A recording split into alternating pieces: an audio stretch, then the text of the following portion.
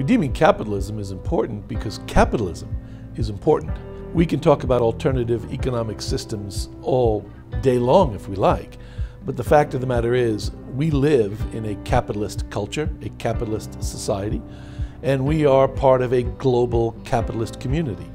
So we need to understand what capitalism is, how it works, whether it's working well, and really look at the good, the bad, and the ugly of this thing we call capitalism and decide whether or not we want to change it in any way, whether it's changeable, whether we think it's a force for good or evil.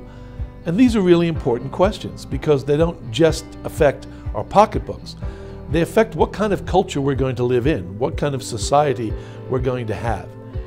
At the end of the day, people seem to forget that economics hasn't always been a mathematical modeling science. For most of human history, economics was a social science, even a moral science. And that's because every economic decision every person makes is a moral choice. So we really need to have a better grasp of what capitalism is, and that's what this book does. Let me start by the title of the book. It's called Redeeming Capitalism, Not Replacing Capitalism. And right now, there's a serious debate in this country about whether or not capitalism serves the common good. And it's a reasonable debate. So, in this book, I unpack what capitalism is, and I ask how we can redeem it so that it does serve the common good. The key question that this book answers is capitalism is a subject, not an object. In other words, it doesn't possess any personality traits of its own. It doesn't have an endemic moral compass. It simply reflects the ethics or the morality of the country or the culture in which it resides. So, if that's true, we can make capitalism anything we want. We can mold it, we can change it, we can help it evolve. And in the book, I actually point out four different capitalist epics from the traditional capitalism that Adam Smith observed to that which Max Weber observed, to what I call postmodern capitalism, the capitalism we have today, and challenge readers to envision a new form of capitalism that's more virtuous. If nothing else, this book reminds everyone about the social and moral roots of capitalism. We have just bought into hook, line, and sinker the rather pernicious belief that ethical egoism is what drives capitalism. And that's simply wrong historically.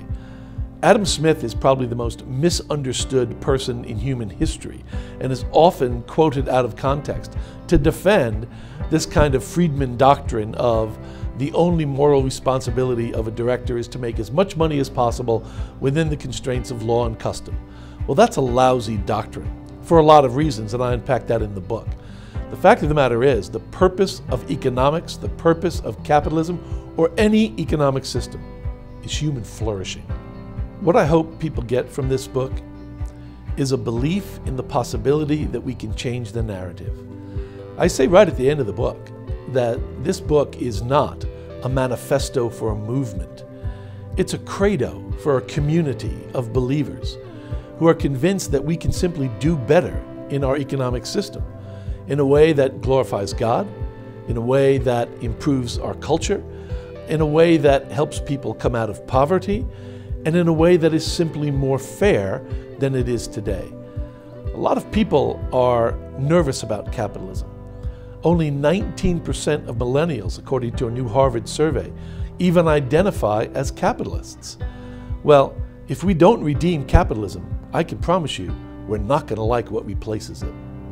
What I want people to understand is while this book is written by a theologian and clearly has theological overtones, the task before us has nothing to do with religion per se, but it does have a lot to do with faith.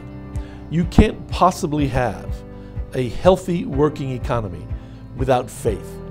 If I were to reach into my pocket right now and take out a $10 bill, the objective reality is that this is a piece of paper, nothing more. But we have faith in the Federal Reserve System. We have faith in fiat money. We have faith in the government that backs it. That allows us to take a piece of paper and exchange it for real live goods and services. So, what I want people to understand is that they need to regain faith in things bigger than themselves, which for a believer starts with God, but even for a non believer, we need faith in things bigger than ourselves, and we need hope for the future. And as I say in the book, all of the virtues are ultimately built on love. And love is missing from the economy today. And everybody, regardless of their religious position, political position, can understand the value and the necessity of love in all human intercourse, including economics. I'm not a career academic. I spent most of my life doing international business at a pretty high level all over the world. I wasn't surprised by the financial crisis of 2008 because while I have seen the positive effects of capitalism to create wealth and lift people out of poverty, I also saw the dark side of capitalism in the boardroom on many occasions. So, this book, in some ways, was born out of the financial crisis of 2008. And I unpack it in the first chapter of the book in considerable detail. And I describe a lack of faith. In fact, I describe a kind of cynical capitalism that failed to take into consideration anyone's concerns other than the concerns of the people who made the disastrous decisions that led to the crisis. That doesn't have to happen. We can again change the narrative so that people understand that every economic decision is a moral choice and it affects other people. There's no such thing as a solo economic choice. It affects you, it affects me, it affects the environment. And that's why we need to bring faith, hope, and love back into economics and especially capitalism, because it has no moral compass of its own. What I want people to understand is there are no quick fixes. I spend a lot of time in the book giving a fair assessment, I think, of various utopian alternatives to capitalism, and they all fail for a lot of reasons, not the least of which is the breadth and the complexity of our global economic system. But that doesn't mean we can't change it. We have to understand that it's a long term process. There are no quick fixes, it's an evolution, but it starts with individuals making the decision to do different things, to change the way we think and the way we act in all of our economics. That we can do from the bottom up and the top down. Now, most people don't have the luxury of being top down influences, but we all have the ability to be bottom up influences. And that's what I want people to take away from the book.